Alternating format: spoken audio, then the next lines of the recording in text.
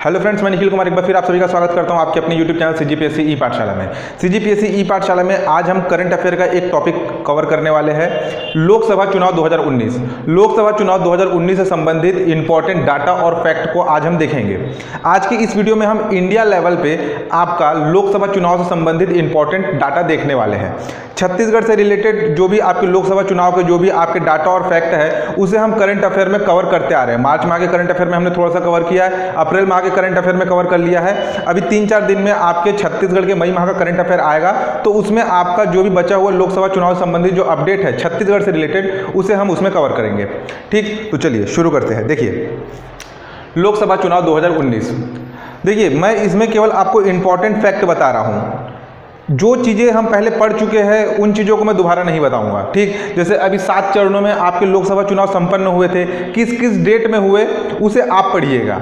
इसमें क्या है, जो अभी चुनाव संपन्न होने के बाद आपके इलेक्शन कमीशन ऑफ़ इंडिया के जो आपके अंतिम आंकड़े आए हैं, जो डाटा आए हैं, और जो कुछ फैक्ट निकल के जो सामने आए हैं चुनाव के बाद, हम उस पर चर्चा करने वाले हैं, ठीक? देखिए, लोकसभा चुनाव 2019 सात चरणों में आपका लोकसभा चुनाव संपन्न हुआ। सात चरणों में आपका लोकसभा चुनाव संपन्न हुआ। तो देखिए, अखिल भारतीय स्तर पर लोकसभा के इतिहास में अब तक का सर्वाधिक मतदान हुआ। लोकसभा के इतिहास में, वर्ष 1900 से लेकर के अब तक के लोकसभा के, लोकसभा चुनाव के इतिहास में अब तक का सर्वाधिक मतदान हुआ है। अखिल भारतीय स्तर पर 67.11 परसेंट सिक्सटी परसेंट यानी सड़सठ दशमलव एक एक प्रतिशत मतदान हुए हैं। इस साल, यानी लोकसभा चुनाव 2019 में 67.11 परसेंट मतदान हुए हैं, जो अभी तक के लोकसभा चुनाव का अब तक का सर्वाधिक मतदान परसेंटेज है। ठीक?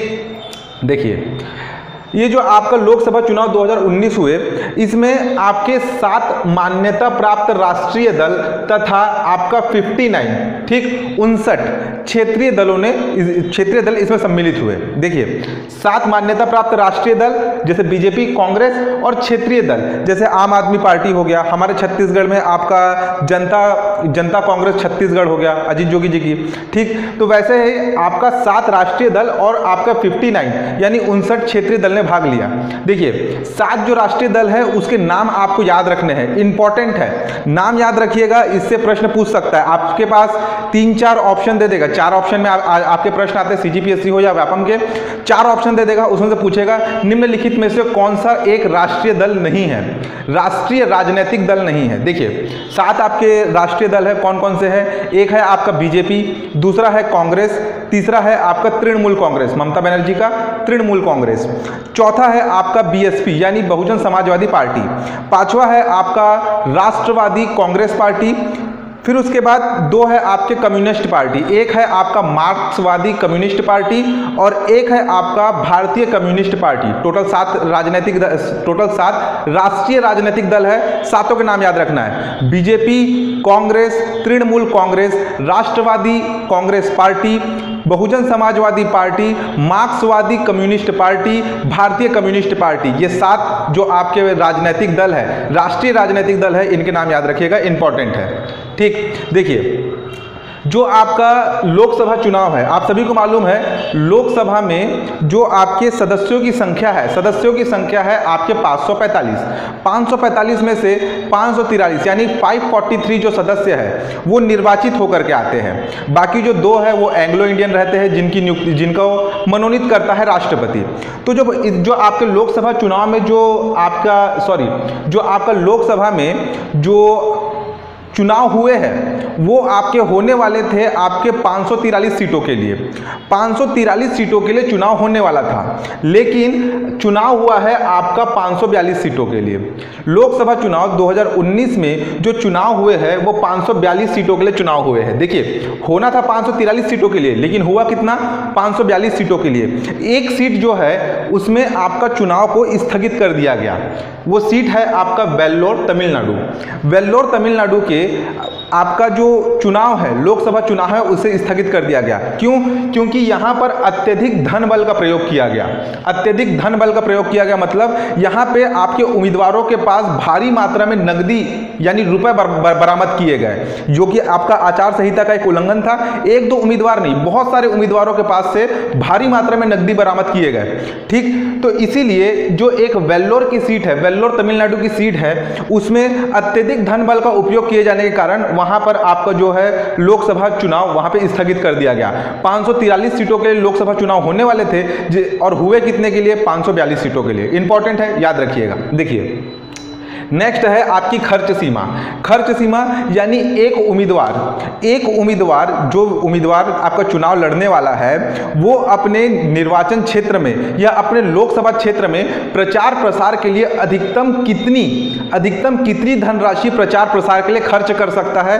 देखिए बड़े राज्यों में, बड़े राज्यों में, बड़े राज्यों में मतलब आपका महाराष्ट्र हो गया, उत्तर प्रदेश हो गया, गुजरात हो गया तो बड़े राज्यों में आपका ये सीमा है, खर्च की अधिकतम सीमा है सत्तर लाख। बड़े राज्यों में आपका एक उम्मीदवार अपने चुनाव क्षेत्र में अधिक से अधिक सत्तर लाख रुपए खर्च कर सकता था, जो भी चुनाव संपन्न हुए उसमें। छोटे राज्यों में, छोटे राज्यों में मतलब असम हो गया, सिक्किम हो गया, गोवा हो गया और आपके जो सेवन सिस्टर वाले जो राज्य है, त्रिपुरा हो गया, नागालैंड हो गया। तो ये जो छोटे राज्य है, छोटे राज्यों में एक उम्मीदवार अपने निर्वाचन क्षेत्र में अधिकतम चौवन लाख रुपए खर्च कर सकता था। इसमें ध्यान देने वाली बात एक याद रखिएगा, जो दिल्ली है, दिल्ली में ये जो लिमिट है, खर्च करने की जो सीमा है, उसे सत्तर लाख निर्धारित की गई थी। अलग से याद रखना है। तो बड़े राज्यों में एक उम्मीदवार अपने निर्वाचित क्षेत्र में प्रचार प्रसार के लिए अधिकतम सत्तर लाख रुपए तक की राशि खर्च कर सकता था, जबकि छोटे राज्यों में, जैसे गोवा हो गया, असम हो गया, आपका त्रिपुरा हो गया, ऐसे छोटे राज्यों में एक उम्मीदवार चुनाव के प्रचार प्रसार के लिए अपने निर्वाचन क्षेत्र में अधिकतम चौवन लाख रुपए की राशि आपका खर्च कर सकता था। ठीक? देखिए नेक्स्ट है जमानत राशि। जमानत राशि, अगर कोई उम्मीदवार चुनाव लड़ने के लिए खड़ा होता है तो उसे एक आपका सिक्योरिटी डिपॉजिट जमा करना पड़ता है। ठीक? तो वो जमानत राशि कितनी है? वो जमानत राशि है आपका पच्चीस हज़ार रुपये पच्चीस हज़ार रुपये एक उम्मीदवार को लोकसभा चुनाव लड़ने के लिए पच्चीस हज़ार रुपये की जमानत राशि जमा करनी पड़ी। ठीक? देखिए, ये जो जमानत राशि रहती है, ये रिफंडेबल रहती है, लेकिन एक कंडीशन रहता है। कंडीशन क्या रहता है कि जो जिस क्षेत्र से वो चुनाव लड़ रहा है, जिस क्षेत्र से वो चुनाव लड़ रहा है तो उस क्षेत्र में जितने भी वहाँ पे वोट पड़ेंगे, उसका एक बटे छ, ठीक? यानी छठा हिस्सा छठा हिस्सा इसके पक्ष में वोट पड़ने चाहिए। मान लीजिए एक उम्मीदवार खड़ा है, जिसने पच्चीस हज़ार रुपये सिक्योरिटी डिपॉजिट किया। अब वहाँ पे समझ लीजिए 600 वोट पड़े। वहाँ पे कुल 600 वोट पड़े। अगर 600 वोट पड़े तो 600 का एक बटा छठवा हिस्सा कितना होगा? 100 अगर उस उम्मीदवार के पक्ष में 100 वोट मिले, उस उम्मीदवार को टोटल कुल 100 वोट मिले तो उस कंडीशन में उसको ये पच्चीस हज़ार रुपए की राशि रिफंड कर दी जाएगी। लेकिन अगर उसे 100 से कम वोट मिले, यानी 90 वोट मिले या 80 नोट मिले तो ये जो जमानत राशि है जब्त हो जाती है। इसे याद रखिएगा, छठा हिस्सा, ठीक? वैध मतों का छठा हिस्सा उसे प्राप्त होना चाहिए, तभी वो जो जमानत राशि है, वो रिफंड होती है। देखिए नेक्स्ट है आपका निर्वाचन आयोग। निर्वाचन आयोग निर्वाचन आयोग के बारे में आपके भारतीय संविधान के अनुच्छेद 324 भारतीय संविधान के अनुच्छेद 324 में आपके निर्वाचन आयोग के बारे में बताया गया है। प्रश्न पूछा जा चुका है इंपॉर्टेंट है सीजीपीएससी के इस बार के एग्ज़ाम में, प्री एग्ज़ाम में ये पूछा गया था। अनुच्छेद 324 जिसमें निर्वाचन आयोग के बारे में बताया गया है। देखिए, आप, ये जो है, ये आपके एक तीन सदस्यीय संस्था है। एक, जिसमें एक होते हैं आपके मुख्य निर्वाचन आयुक्त और दो होते हैं आपके अन्य निर्वाचन आयुक्त। मुख्य निर्वाचन आयुक्त है आपके सुनील अरोड़ा। मुख्य निर्वाचन आयुक्त है आपके सुनील अरोड़ा, जबकि दो अन्य निर्वाचन आयुक्त है, एक है आपके सुशील चंद्रा और दूसरा है अशोक लवासा। सुशील चंद्रा और अशोक लवासा, ठीक? इंपॉर्टेंट है, नाम याद रखिएगा, मुख्य निर्वाचन आयुक्त सुनील कुमार सॉरी सुनील अरोड़ा, अन्य निर्वाचन आयुक्त सुशील चंद्रा और आपका अशोक लवासा, ठीक? देखिए लोकसभा, देखिए, लोकसभा चुनाव में आपका पाँच सीटों के लिए आपके चुनाव होने वाले थे। तो देखिए, इसमें अब आप देखिएगा, इसमें सीटों को, जो सीट जो है, ये डिवाइड है। इसमें कितनी सीटें रिजर्व्ड है, इससे प्रश्न पूछ सकता है। देखिए, इस बार जो लोकसभा चुनाव हुए, ये थे आपके पाँच सीटों के लिए लोकसभा चुनाव होने वाले थे। तो ये जो पाँच सीटों के लिए जो लोकसभा चुनाव होने वाले थे, उसमें से एससी एससी कैटेगरी के लिए एससी कैटेगरी यानी अनुसूचित जाति वर्ग के लिए आपका चौरासी सीट आरक्षित किया गया था। अनुसूचित जाति वर्ग, अनुसूचित जाति वर्ग यानी शेड्यूल्ड कास्ट के लिए आपका चौरासी सीट आरक्षित किया गया था, जबकि एसटी कैटेगरी यानी शेड्यूल्ड ट्राइब अनुसूचित जनजाति वर्ग के लिए इसमें सैंतालीस सीट आरक्षित किया गया था। इंपॉर्टेंट है, याद रखना है। ठीक, आप सभी को मालूम होगा एससी के लिए आपका सीट रिज़र्व होता है एस का रिज़र्व होता है ओबीसी के लिए किसी प्रकार का सीट रिज़र्व नहीं होता, यानी एस सी के अलावा यदि कोई उम्मीदवार चुनाव लड़ता है तो जनरल कैटेगरी से खड़ा होगा। ठीक? क्या याद रखना है? एससी कैटेगरी के लिए चौरासी सीट, एसटी कैटेगरी के लिए आपका सैंतालीस सीट। देखिए, अब यदि आपसे प्रश्न पूछा कि लोकसभा चुनाव 2019 में कितनी सीटें आरक्षित थी आरक्षित सीटों की संख्या कितनी थी? यहाँ क्या पूछ रहा है? यहाँ नहीं, आपसे अनुसूचित जाति वर्ग के लिए पूछ रहा है, नहीं, जनजाति वर्ग के लिए पूछ रहा है। क्या पूछ रहा है? लोकसभा चुनाव 2019 में कितनी सीटें आरक्षित थी? ठीक? यानी आपसे आरक्षित सीटों की संख्या पूछ रहा है। तो देखिए, आप यदि 84 यानी चौरासी में सैंतालीस को ऐड करेंगे तो टोटल कितना होता है? एक सौ इकतीस। लोकसभा चुनाव दो हज़ार उन्नीस में आपके आरक्षित सीटों की संख्या थी आपका एक सौ इकतीस। ठीक? देखिए, अब हुआ कितना चुनाव आपका 542 सीटों के लिए? 542 सीटों के लिए आपका चुनाव हुआ तो देखिए, इस बार 542 सीटों का चुनाव हुआ और चुनाव परिणाम जब सामने आया तो उसके बाद देखिए, अभी जो वर्तमान में वर्तमान में लोकसभा में महिला उम्मीदवारों की संख्या, महिला उम्मीदवारों की संख्या 542 सीट 542 सीट में से आपका 78 यानी 78 78 यानी 78 आपकी महिला उम्मीदवार चुन करके आई है। 542 सीटों में से 78 आपकी महिला उम्मीदवार निर्वाचित होकर के आपके लोकसभा में पहुँची है। अब 542 में से 78 माइनस कर देंगे तो बचा कितना? 464 बाकी जो शेष है वो पुरुष है। चार आपके पुरुष उम्मीदवार हैं। यदि 542 सीटों में यदि आपसे प्रश्न पूछा गया कि वर्तमान लोकसभा में महिला उम्मीदवारों की संख्या कितनी है या निर्वाचित महिला सांसदों की संख्या कितनी है पूछता है तो आपको लगाना है 78 यदि परसेंटेज में पूछा कि वर्तमान लोकसभा में निर्वाचित महिला सांसदों का प्रतिशत कितना है तो याद रखिएगा 14.3 परसेंट चौदह दशमलव तीन प्रतिशत महिला उम्मीदवारों की संख्या है। ठीक? इंपॉर्टेंट है, याद रखिएगा।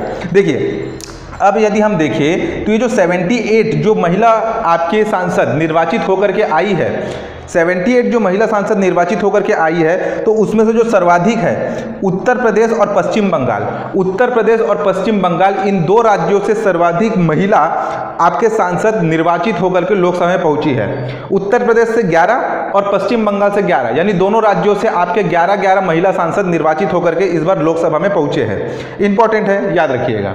ठीक, अब देखिए, लोकसभा सीट। लोकसभा सीट, यानी आपसे ये प्रश्न पूछ सकता है कि निम्नलिखित में से किस राज्य में लोकसभा सीटों की संख्या सर्वाधिक थी?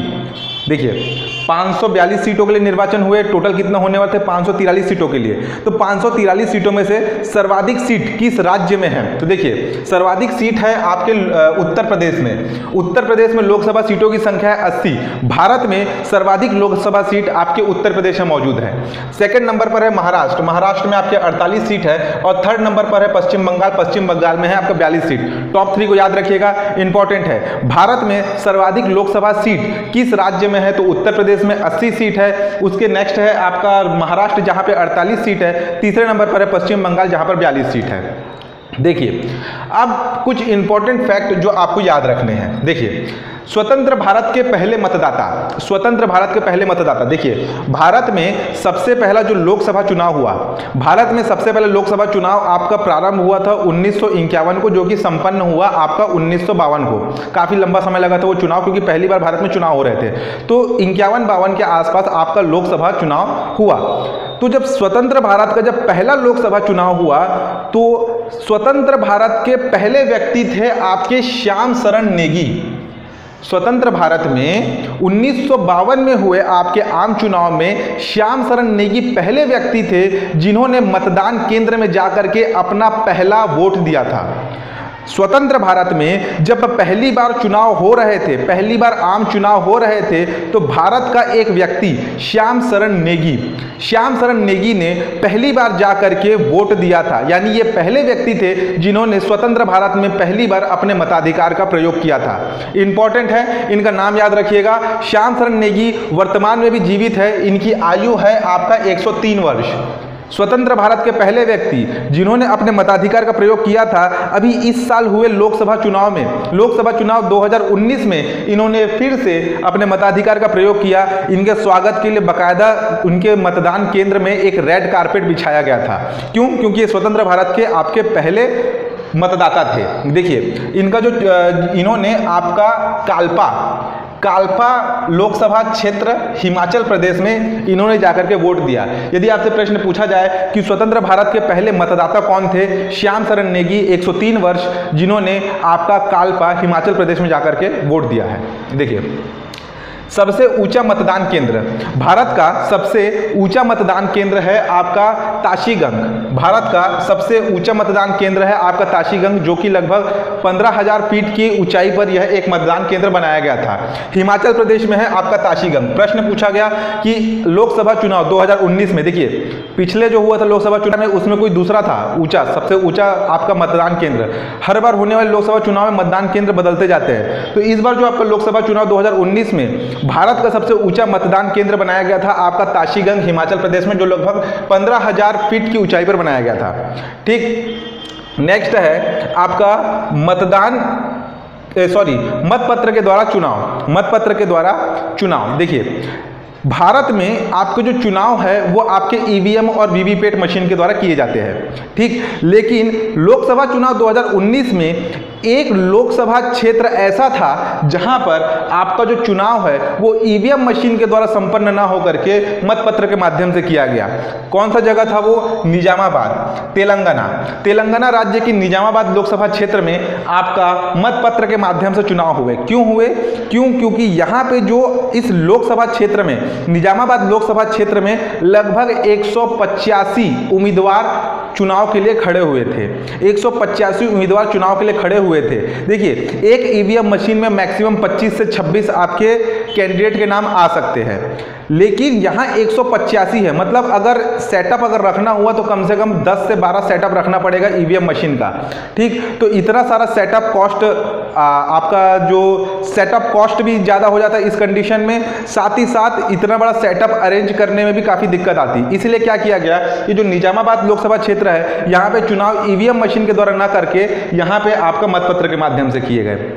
देखिए एक जो है आपका मतदान मतदान के सॉरी एक जो आपका लोकसभा क्षेत्र है, आपका अनंतनाग। अनंतनाग एक लोकसभा क्षेत्र है। देखिए, हर चरण में एक जो आपका लोकसभा क्षेत्र है, वहाँ पे चुनाव संपन्न होते हैं। यानी एक एक चरण में आपके एक जो लोकसभा क्षेत्र है, उसका पूरा का पूरा आपका चुनाव संपन्न करा दिया जाता है। लेकिन ये जो अनंतनाग आपका लोकसभा क्षेत्र है इस एक लोकसभा क्षेत्र में जो चुनाव है, तीन चरणों में संपन्न किया गया। समझिएगा, ये जो आपका अनंतनाग है, अनंतनाग ये अत्यंत संवेदनशील आपका लोकसभा क्षेत्र है। अत्यंत संवेदनशील क्योंकि जो आपका पुलवामा हमला हुआ था, पलेंगा हमला है, उसके अलावा उरी हमला है, ये जो आपका अनंतनाग है, ये आपका आतंकवादी आतंकवादी जो हमला हुए हैं, ऐसे क्षेत्रों से घिरा हुआ है। तो ये जो अनंतनाग, केवल इस एक लोकसभा क्षेत्र में चुनाव संपन्न कराने के लिए भारतीय निर्वाचन आयोग को तीन चरणों में यहाँ पे चुनाव संपन्न कराना पड़ा। ठीक इंपॉर्टेंट है, याद रखिएगा कि भारत के किस एक लोकसभा क्षेत्र में आपके चुनाव तीन चरणों में संपन्न हुए तो वो है आपका अनंतनाग, जम्मू कश्मीर, अत्यंत संवेदनशील क्षेत्र, यानी आतंकवादी घटनाक्रम यहाँ पे बहुत ज़्यादा होता है। इस कारण से यहाँ पर आपका तीन चरणों में, एक मतदान केंद्र अनंतनाग में, तीन चरणों में आपके मतदान संपन्न हुए, अनंतनाग, जम्मू कश्मीर। देखिए नेक्स्ट है, सबसे बड़ा लोकसभा क्षेत्र। सबसे बड़ा लोकसभा क्षेत्र, यानी क्षेत्रफल के हिसाब से एरिया वाइज क्षेत्रफल के हिसाब से सबसे बड़ा लोकसभा क्षेत्र है आपका लद्दाख। लगभग 1.74 लाख स्क्वायर किलोमीटर एक दशमलव सात चार लाख वर्ग किलोमीटर क्षेत्र में फैला लद्दाख। ये जो लद्दाख लोकसभा क्षेत्र है, ये क्षेत्रफल लोकसभा है सॉरी ये जो लद्दाख लोकसभा क्षेत्र है, ये क्षेत्रफल के आधार पर भारत का सबसे बड़ा लोकसभा क्षेत्र था। क्षेत्र है। ठीक? देखिए इंपॉर्टेंट है, याद रखिएगा। नेक्स्ट है आपका सर्वाधिक मतदाता। सर्वाधिक मतदाता, ये है आपके मलकाजगिरी तेलंगाना।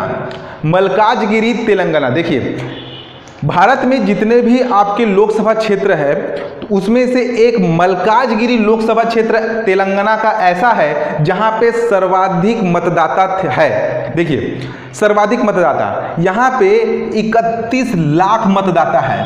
31 लाख मतदाता है। भारत भर में जितने भी लोकसभा क्षेत्र है, उनमें से सर्वाधिक सर्वाधिक आपके जो मतदाता है, वो है आपके मलकाजगिरी तेलंगाना में। इंपॉर्टेंट है, याद रखिएगा। सबसे छोटा मतदान केंद्र, लोकसभा चुनाव 2019 लोकसभा चुनाव 2019 में सबसे छोटा मतदान केंद्र, जो अस्थायी रूप से बनाया गया था, आपका हुइलियांग, अरुणाचल प्रदेश। अरुणाचल प्रदेश हुइलियांग में सबसे छोटा मतदान केंद्र, अस्थायी रूप से बनाया गया था केवल एक व्यक्ति के लिए। यहाँ एक व्यक्ति ने आकर के अपना वोट डाला था, जिसके लिए अस्थायी रूप से आपका हुइलियांग, अरुणाचल प्रदेश में आपका इसका सेटअप अस्थायी रूप से मतदान केंद्र बनाया गया था। देखिए, भारत का सबसे छोटा मतदान केंद्र है आपका हुइलियांग उसके बाद दूसरा सबसे छोटा मतदान केंद्र था हमारे छत्तीसगढ़। छत्तीसगढ़ का सेरा डांट। सेरा डांट कोरिया जिला। देखिए, कई लोग इसमें कंफ्यूज हो रहे हैं, जो मैंने छत्तीसगढ़ के करंट अफेयर में इससे जो आपको कवर कराया थे वाला टॉपिक तो देखिए, सेरा डांट है कोरिया ज़िले में। कोरिया ज़िले में और उसमें मैंने एक जगह लिखा है कोरबा। ठीक? तो करंट अफेयर का जो हमने वीडियो का वीडियो में जो हमने कवर किया था लोकसभा से संबंधित इंपॉर्टेंट डाटा उसमें मैंने लिखा है सेरा डांड जो कि कोरिया ज़िले में है। लेकिन एक जगह लिखा है कि जहाँ छत्तीसगढ़ के ऐसे कौन कौन से आपके लोकसभा क्षेत्र लोकसभा क्षेत्र या मतदान केंद्र है जहाँ पे आपके हंड्रेड आपके वोट पड़े। तो वहाँ मैंने लिखा है कोरबा। तो देखिए, समझिएगा। एक लोकसभा क्षेत्र है। लोकसभा क्षेत्र के अंदर बहुत सारे विधानसभा क्षेत्र आते हैं और विधानसभा क्षेत्र के अंतर्गत बहुत सारे मतदान केंद्र आते हैं। तो जो सेरा डांड है, सेरा डांड आपका भरतपुर सोनहत विधानसभा क्षेत्र के अंतर्गत आता है। भरतपुर सोनहत विधानसभा क्षेत्र के अंतर्गत आता है। ये भरतपुर सोनहत विधानसभा क्षेत्र किस ज़िले में है? कोरिया ज़िले में। लेकिन कोरिया जिला कोरिया जिला है, कोरिया आपका लोकसभा क्षेत्र नहीं है। भरतपुर सोनहत विधानसभा क्षेत्र कोरबा लोकसभा क्षेत्र के अंतर्गत आता है। समझिएगा, जो आपका सेरा डांड है, सेरा डांड कोरिया ज़िले में ज़रूर है, लेकिन वो कोरबा विधान कोरबा लोकसभा क्षेत्र का, के अंतर्गत आता है। समझ रहे सेरा डांड, जो कि कोरिया ज़िले में है, भरतपुर सोनहत लोक, विधानसभा क्षेत्र के अंतर्गत आता है। यदि लोकसभा क्षेत्र पूछा जाए तो कोरबा लोकसभा क्षेत्र के अंतर्गत आता है। समझना इसको। ठीक? नेक्स्ट सबसे युवा सांसद, सबसे युवा सांसद भारतीय इतिहास में, भारतीय लोकसभा चुनाव के इतिहास में अब तक की सबसे युवा सांसद जो कि चुन करके आई है, वो है आपकी चंद्राणी मुर्म। ये एक बीजेपी कैंडिडेट थी 25 वर्षीय चंद्राणी मुर्म। देखिए, क्योंझर क्योंझर, उड़ीसा। क्योंझर लोकसभा क्षेत्र, जो कि उड़ीसा राज्य में है तो यहाँ से ये एक बीजेपी कैंडिडेट है, जो चुन करके आई है लोकसभा के इतिहास में। सबसे युवा सांसद है ये 25 वर्षीय चंद्राणी मुर्मू, नाम याद रखिएगा। सबसे गरीब सांसद, सबसे गरीब सांसद है आपके प्रताप चंद्र सारंगी। प्रताप चंद्र सारंगी जो कि सबसे गरीब सांसद है। बालासोर, उड़ीसा।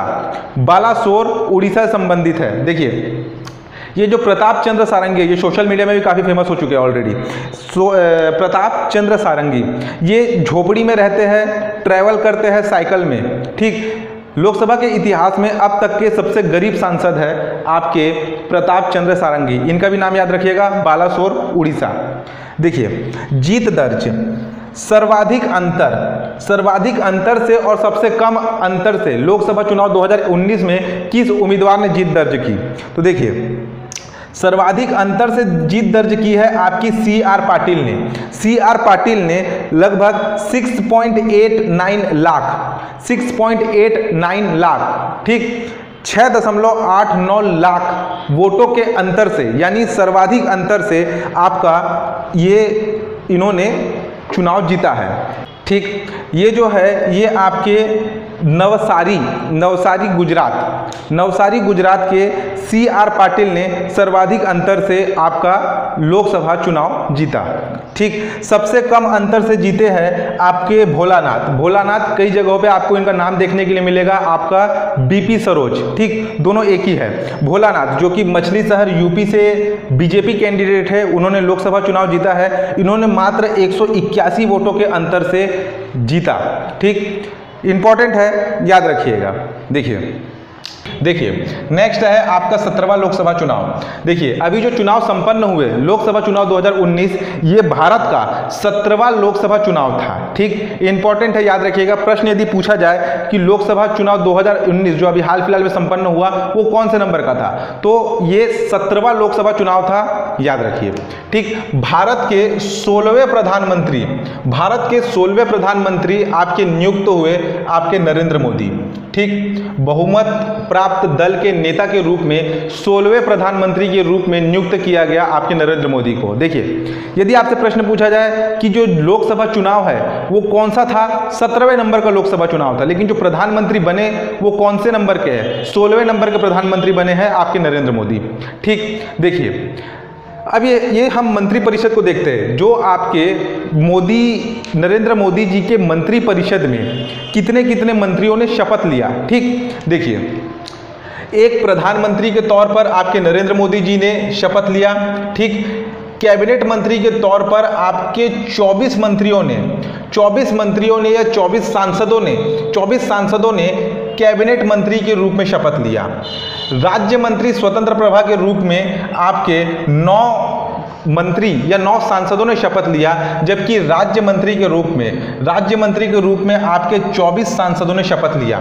ठीक, प्रधानमंत्री एक, कैबिनेट मंत्रियों की संख्या 24 राज्य मंत्री स्वतंत्र प्रभाग की संख्या 9 राज्य मंत्रियों की संख्या 24 ठीक, इंपॉर्टेंट है, याद रखिएगा, एक, चौबीस, नौ, चौबीस। ठीक एक चौबीस, नौ चौबीस। कैबिनेट मंत्री 24 राज्य मंत्री स्वतंत्र प्रभा नौ, राज्य मंत्री 24 तो टोटल ओवरऑल होते हैं आपके मंत्री परिषद। ठीक, सत्रहवीं लोकसभा चुनाव में जो आपके मंत्री परिषद का जो आकार है, मंत्री परिषद का आकार है आपका अंठावन। देखिए, यदि आपसे प्रश्न पूछा जाए कि मंत्री परिषद का आकार कितना या मंत्री परिषद में कितने आपके सांसद है, सम्मिलित है। तो सांसदों की संख्या है आपके अंठावन। मंत्रिपरिषद का आकार है आपका 58 अंठावन। यदि कैबिनेट मंत्रियों की संख्या पूछे, कैबिनेट मंत्रियों की संख्या पूछे या मंत्रिमंडल में आपके मंत्रियों की संख्या पूछे तो मंत्रिमंडल में मंत्रियों की संख्या है आपका 24 देखिए कंफ्यूज मत होइएगा। मंत्रिमंडल पूछ रहा है कि मंत्रिपरिषद पूछ रहा है, उसके हिसाब से देख के ऑप्शन लगाना है। मंत्रिमंडल पूछे या कैबिनेट मंत्री पूछे तो उसमें मंत्रियों की संख्या है चौबीस। यदि आपसे मंत्री परिषद में मंत्रियों की संख्या पूछे तो वो संख्या है आपका अंठावन फिफ्टी ठीक? अब देखिए, ये जो 24 मंत्री है कैबिनेट मंत्री है जो कैबिनेट मंत्री है, ये डायरेक्ट प्रधानमंत्री के अंडर में कार्य करते हैं। ठीक? तो ये जो 24 मंत्री है, इस 24 मंत्रियों में से आपका जो महिला मंत्री है, या महिला कैबिनेट मंत्री है, उनकी संख्या है तीन। ठीक? महिला कैबिनेट मंत्रियों की संख्या कितनी है? तीन है। इंपॉर्टेंट है, याद रखिएगा। ठीक? और राज्य मंत्री के रूप में, राज्य मंत्रियों के रूप में तीन सांसदों ने आपका शपथ लिया। राज्य मंत्री के रूप में तीन महिला सांसदों ने शपथ लिया। ठीक, कैबिनेट मंत्री के रूप में तीन महिला सांसदों ने शपथ लिया, जबकि राज्य मंत्री के रूप में तीन महिला सांसदों ने शपथ लिया। यदि आपसे प्रश्न पूछा जाए कि कैबिनेट मंत्री में महिला सांसदों की संख्या, जब महिला मंत्रियों की संख्या कितनी है? तीन। यदि आपसे प्रश्न पूछा जाए कि मंत्री परिषद में महिलाओं की संख्या कितनी है तो तीन प्लस तीन छ ठीक? प्रश्न क्या पूछ रहा है? समझ के लगाइएगा। मंत्रिमंडल में या कैबिनेट मंत्री में महिला मंत्रियों की संख्या कितनी है? तीन। मंत्री परिषद में महिला मंत्रियों की संख्या कितनी है? छ ठीक? Pro tem speaker. प्रोटेम स्पीकर आपके जो है, वो है आपके संतोष गंगवार, बरेली, यूपी। बरेली, यूपी से जो बीजेपी कैंडिडेट जो जीत करके आए, संते, संतोष गंगवार, उन्हें प्रोटेम स्पीकर नियुक्त किया गया। अब ये, अभी जो पहला सत्र जब इसका आयोजन किया जाएगा लोकसभा चुनाव का, तब उसमें वो, वे लोकसभा चुनाव के अध्यक्ष और उपाध्यक्ष को शपथ दिलाएँगे। ठीक? तो सत्रहवीं लोकसभा के आपके प्रोटेम स्पीकर किन्हें नियुक्त किया गया, संतोष गंगवार, बरेली, यूपी। ठीक? अब देखिए, कुछ इंपॉर्टेंट डाटा जो आपको एक नज़रों में थोड़ा याद रखना है, ठीक? परसेंट वाइज याद रख सकते हैं तो ठीक है, वरना टॉप थ्री आपके राज्य या केंद्र शासित प्रदेशों की जो यहाँ पे सूची है उसे याद रखिएगा। देखिए, सर्वाधिक मतदान सर्वाधिक मतदान, भारत के टोटल 29 राज्य और सात केंद्र शासित प्रदेशों में, ठीक? ओवरऑल बात कर रहा हूँ, यहाँ पर राज्यों की बात नहीं कर रहा, राज्य प्लस केंद्र शासित प्रदेश ओवरऑल सर्वाधिक मतदान कहाँ पर हुए? देखिए, लक्षद्वीप में आपका सर्वाधिक मतदान हुए। ओवरऑल लक्षद्वीप में लक्षद्वीप में जितने भी आपके रजिस्टर्ड वोटर थे, यानी पंजीकृत वोटर थे तो उसमें से आपके पचासी प्रतिशत पचासी प्रतिशत पचासी दशमलव तीन आठ प्रतिशत यानी 85.38 प्रतिशत आपके वोटरों ने आपके मत, अपने मताधिकार का प्रयोग किया। सेकेंड नंबर पर है नागालैंड जिसका जहाँ पे परसेंटेज है आपका 83.43 परसेंट थर्ड नंबर पर है मणिपुर जहाँ पर आपके 83.40 वोटरों ने या मतदाताओं ने अपने मताधिकार का प्रयोग पड़ा प्रयोग किया। ठीक? यदि आपसे प्रश्न पूछा जाए कि किस राज्य या केंद्र शासित प्रदेश में लोकसभा चुनाव 2019 में सर्वाधिक मतदाताओं ने अपने मताधिकार का प्रयोग किया तो वो है आपका लक्षद्वीप इंपॉर्टेंट है, याद रखिएगा। नेक्स्ट है सर्वाधिक महिला मतदाता। लोकसभा चुनाव 2019 में किस राज किस राज्य या केंद्र शासित प्रदेश के महिलाओं ने सर्वाधिक अपने मताधिकार का प्रयोग किया? यानी उस राज्य या केंद्र शासित प्रदेशों में total total registered women voters या पंजीकृत महिला आपके मतदाताओं में से कितने महिला मतदाताओं ने अपने मताधिकार का प्रयोग किया? देखिए पहले पोजीशन पर है आपका लक्षद्वीप। लक्षद्वीप में आपके 86.49 परसेंट महिला मतदाताओं ने अपने मताधिकार का प्रयोग किया। सेकेंड नंबर पर है मणिपुर 84.14 परसेंट थर्ड नंबर पर है त्रिपुरा 82 परसेंट टॉप थ्री के नाम याद रखिएगा। ठीक? नेक्स्ट है आपके मतदाताओं में वृद्धि।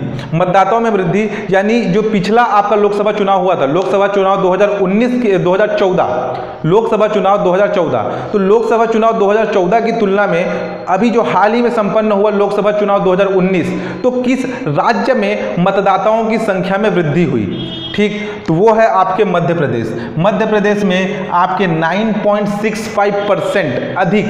पिछली लोकसभा चुनाव से 9.65 प्रतिशत अधिक आपके मतदाताओं ने अपने मताधिकार का प्रयोग किया है। ठीक? अब देखिए, मतदाता, पुरुष और महिला, यानी मेल वोटर्स और फीमेल वोटर्स ठीक? देखिए लोकसभा चुनाव 2019 में जितने भी आपके रजिस्टर्ड या पंजीकृत मतदाता थे तो उसमें से पंजीकृत पुरुष मतदाताओं में से 66 पॉइंट एट नाइन परसेंट, यानी छसठ दशमलव आठ नौ प्रतिशत पुरुष मतदाताओं ने अपने मताधिकार का प्रयोग किया, जबकि पंजीकृत महिला मतदाताओं में से 66.79 परसेंट यानी छियासठ दशमलव सात नौ प्रतिशत महिला मतदाताओं ने अपने मताधिकार का प्रयोग किया। इंपॉर्टेंट है, याद रखिएगा, दोनों में आपका पॉइंट वन का डिफरेंस है, ठीक? तो चलिए ये सारे के सारे आंकड़े इंपॉर्टेंट है। मैं ये नहीं बोलता कि इससे प्रश्न आएँगे या नहीं आएँगे। लेकिन लोकसभा चुनाव अभी हाल फ़िलहाल में संपन्न हुआ है तो इससे रिलेटेड बेसिक फैक्ट आपको मालूम होने चाहिए। प्रश्न कहीं से भी आ सकता है। फ़िलहाल तो अभी अगले तीन चार महीने में जितने भी एग्ज़ाम होंगे, उन एग्ज़ाम में आपसे लोकसभा चुनाव से रिलेटेड आपसे डाटा परसेंटेज पूछ सकता है। इंपॉर्टेंट फैक्ट से भी प्रश्न पूछ सकता है। तो फ़िलहाल अभी अगले दो तीन महीने में जितने भी आपके एग्ज़ाम होने वाले हैं, उन सारे एग्ज़ाम के लिए इसे प्रिपेयर करके रखिएगा। ठीक? तो चलिए, आज का वीडियो हम यहीं समाप्त करते हैं। किसी प्रकार का डाउट हो तो आप नीचे कमेंट करके पूछ सकते हैं। चैनल पर नया है तो चैनल को सब्सक्राइब कर दीजिएगा। लाइक और शेयर ज़रूर कीजिएगा। धन्यवाद।